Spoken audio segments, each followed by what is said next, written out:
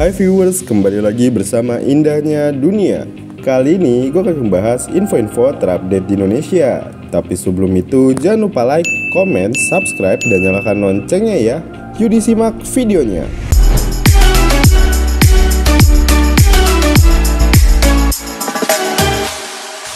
Apakah kalian tahu tentang kota Bandung? Ternyata ada fakta unik tentang kota ini loh. Salah satunya, kota ini adalah kota metropolitan terbesar di Provinsi Jawa Barat dan terbesar ketiga di Indonesia setelah Jakarta dan Surabaya.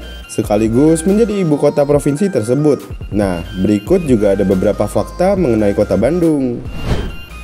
Yang pertama, kota kembang. Jadi, Bandung itu memiliki begitu banyak julukan yang bisa diingat dengan mudah oleh masyarakat. Salah satu di antaranya ialah julukannya sebagai kota kembang.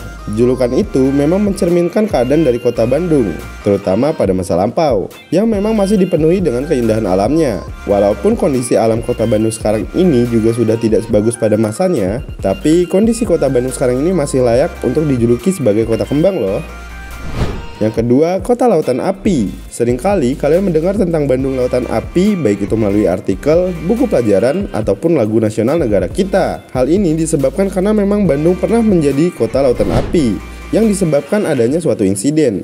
Yang mana dulu semua warga dari kota Bandung memang sengaja membakar rumah mereka masing-masing agar kota Bandung menjadi terbakar. Sehingga kota Bandung tidak memungkinkan untuk ditempati sebagai markas militer penjajah.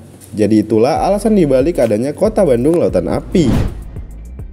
Yang ketiga, kuliner kota Bandung. Apabila kalian ingin mengenal lebih dalam tentang Bandung, kalian bisa mengetahui bahwa kota ini sering kali disebut sebagai ladang kuliner. Seperti yang kalian ketahui bahwa banyak sekali makanan di sekitaran kota Bandung yang menggunakan kata Bandung, seperti roti bakar Bandung, martabak Bandung, dan masih banyak lainnya.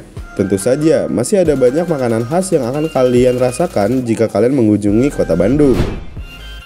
Fakta menarik selanjutnya juga tidak kalah menarik untuk kalian ketahui, sebab informasi ini juga bisa menjadi referensi kalian jika ingin berlibur. Harus kalian ketahui bahwa kota Bandung menjadi salah satu kota yang paling banyak dikunjungi oleh orang-orang karena hawanya yang sejuk.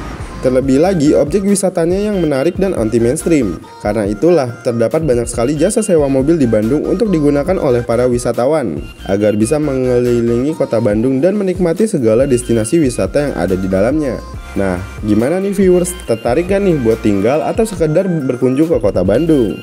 Oh ya, jangan lupa tulis kritik dan saran kalian di kolom komentar ya. Terima kasih.